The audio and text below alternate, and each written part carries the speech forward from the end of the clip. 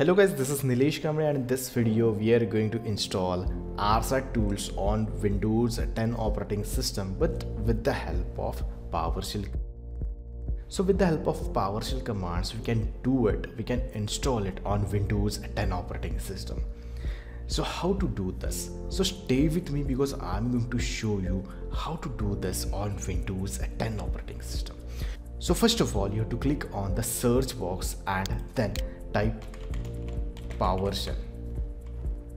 Here you can see Windows PowerShell is there. It's an application and you can open it with the help of this start menu run as administrator or you can right click on it and just click on run as administrator it will ask you for user account control permission and then click on yes so now PowerShell is open but to install RSAT tools with the help of PowerShell, you should also have the internet connection on your Windows 10 computer because even if it is given in Windows 10 operating system in a package format, you need internet connection to connect to Windows Update website and to download and then install on your computer. So let's go ahead and run some of the commands. But first of all, we should know if there are any tools installed on this computer.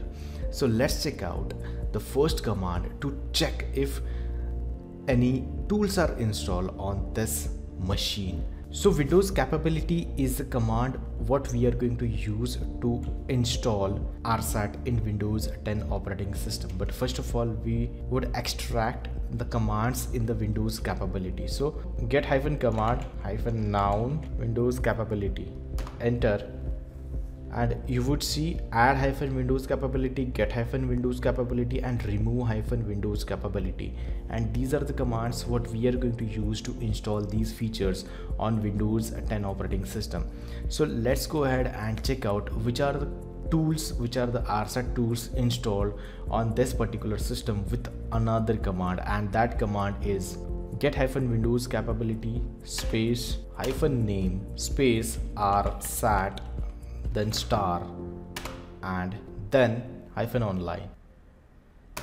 Hit enter and it will give us the results which are the tools installed. If installed it will show us if the status is installed then present. And if the status is not installed then not present. So this is going to come in the raw format and then we are going to convert it into tabular format with another command. It is going to take some time. Meanwhile i will pause the recording and will come back once it's complete so now you can see it is giving us results in the listed format and to get the results into tabular format we have to use the pipe feature in the same command and to extract it into tabular format. So I'm going to press the up arrow key to get the same command then space pipe space select hyphen object hyphen property display name we have to check what is given over here.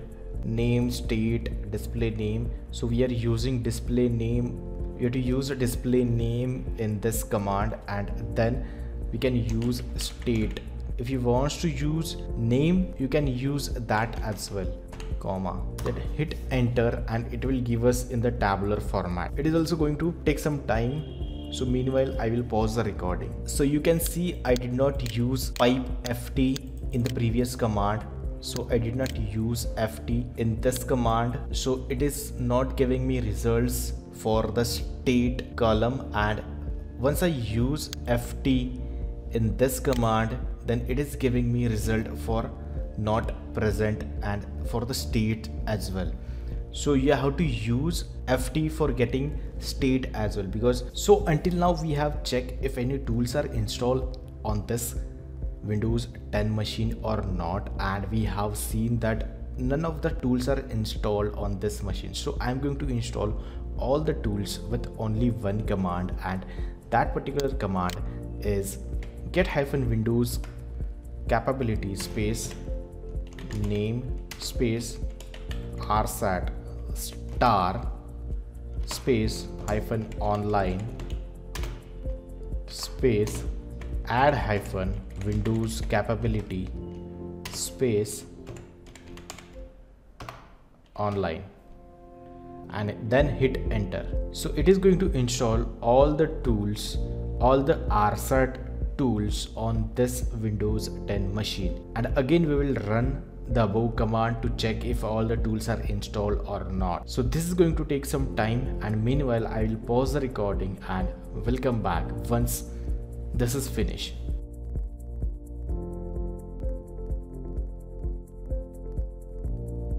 once you install these tools with the help of PowerShell command, you will be able to manage Active Directory from Windows 10 computer. And that's it for this video. If you like this video, please hit the like button because it gives motivation to create more videos. Please hit the subscribe to get the notifications in your Gmail box. And also press the bell icon by enabling all notifications for my channel.